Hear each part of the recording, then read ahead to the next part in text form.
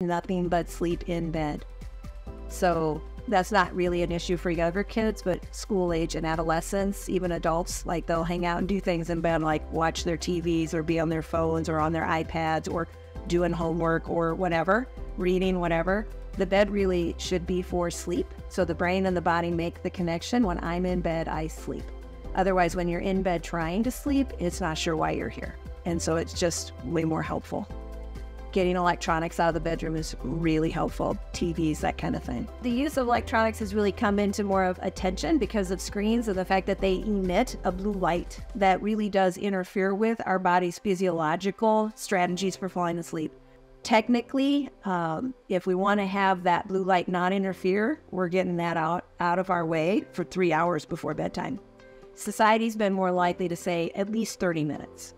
At least 30 minutes. I don't know many people who would shut everything down three hours before bedtime, but we have some success in getting people to at least take a break 30 minutes before you're trying to go to bed and go to sleep. So something is better than nothing, but it's not going to be optimal at that mark.